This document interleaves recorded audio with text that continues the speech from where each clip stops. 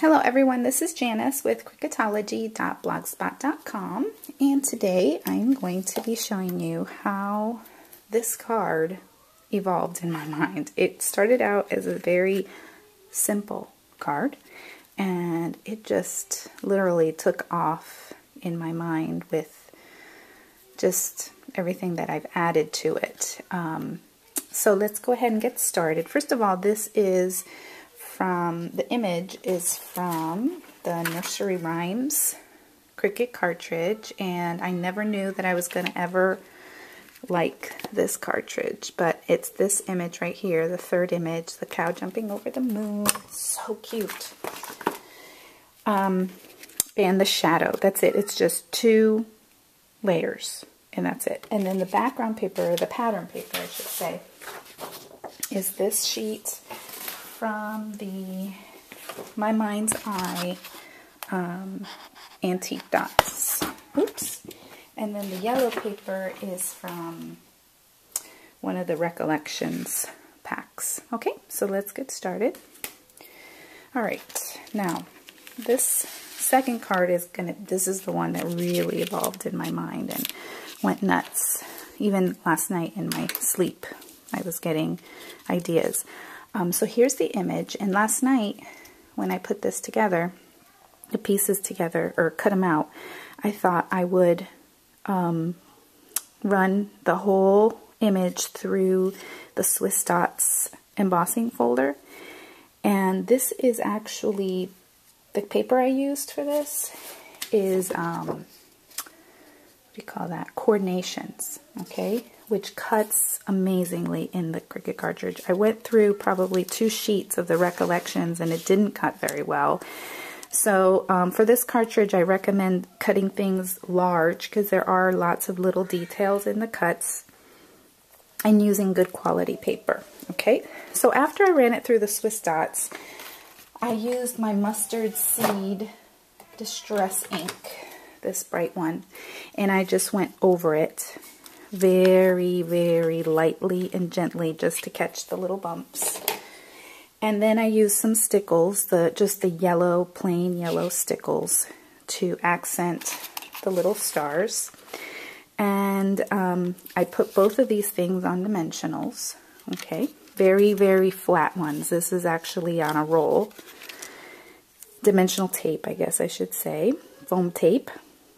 And um, let me show you how this glue from the Rubber Cafe works. You can go to www.therubbercafe.com if you're interested in checking this glue out. But there, there's so many things that you can do with it. And one of the things is, is that you can, you know, instead of using a glue pen or something like that, she, Melissa says that this glue does not clog at all. Okay, so I'm just using a pen, I mean a, a little brush, just a regular, didn't get this from any special, I don't know where I got this brush. I've had it in my arts supplies. You know, I was a teacher in the classroom before I started homeschooling. So I have all kinds of things like this. And I'm going to use a little bit more. She says her she never um, covers this glue with the cap. She just leaves it out and it doesn't clog. So that's very interesting to me because, you know, we're always having clogging issues. And so anyway, you brush it on all over. I'm just doing the moon.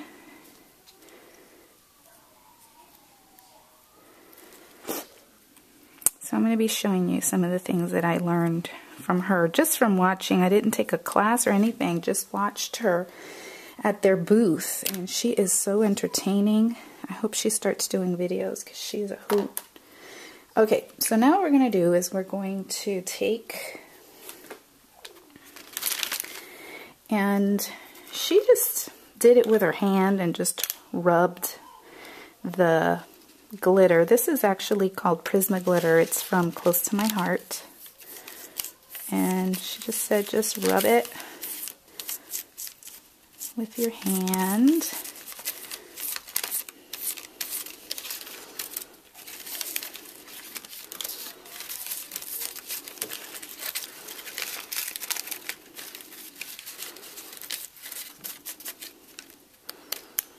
Look how shiny that is.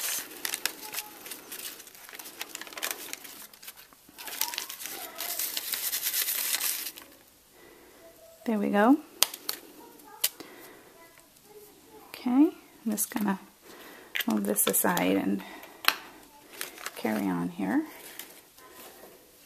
Okay, my hand's a little I have a hard time being messy. I just want to go wash my hands. Now, um, she also said whatever you use this glue with, like you can also use it on stamps, which I won't show you right this second, but you, you have to wash whatever you use. Like I'm going to go wash that brush right away so it doesn't get messed up with the gluiness. Okay, so now I'm going to take these off. I wish I had done it beforehand because this takes forever.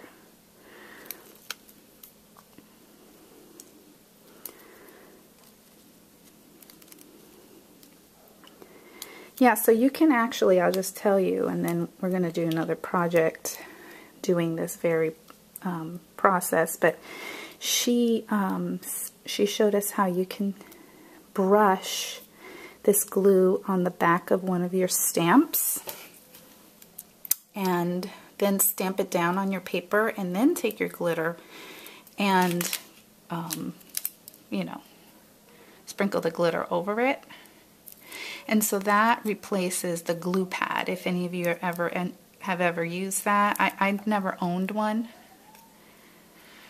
But she said she showed that and wow, it was really neat. So like you could just totally make your own glittery background paper. I'm going to try it. I bought a polka dot cling stamp from Michaels. They were 40%, they are 40% off this week of um, April, what's today? April 10th, the week of April 10th. That's Today's April 12th, 2011, and um, they're 40% off right now at Michael's. So I got it, and I'm going to be trying that out. Okay, so there we go. Okay, and then Oh, mercy me, there is more, there are more dimensionals on the back of this because I really wanted to dimensionalize it. Okay, so here's our papers. And I wanted to do corner rounding. Quarter inch side. It's to do, actually let's go ahead and fold this. And this is just an 8.5 by 11 piece of cardstock cut down at 4 and a quarter.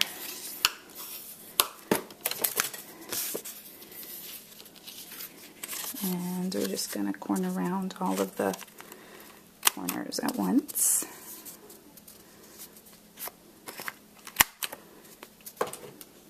Okay, and then um, this sentiment, I love you to the moon and back, is so fabulous. I love it. That is something my son and I have said to each other for a long time. It, it's from a book, little book that we have. A little bunny and their mother, and they try to outdo each other as to how far their love goes. So anyway, and I saw this on the Scrappy Moms Kids Incorporated set. That was the one sentiment that I absolutely love. I love all of them, but that's my favorite. Okay, and then we're going to put this ribbon here to the side. Of course, I like them to the side. And my tape dispenser is elsewhere. So I was wrapping my son's presents and I didn't bring it back. Running out of time here. Quickly, quickly. I'm not going to adhere it down. I'm just going to show you what it's going to look like all done. I'm going to set that on top.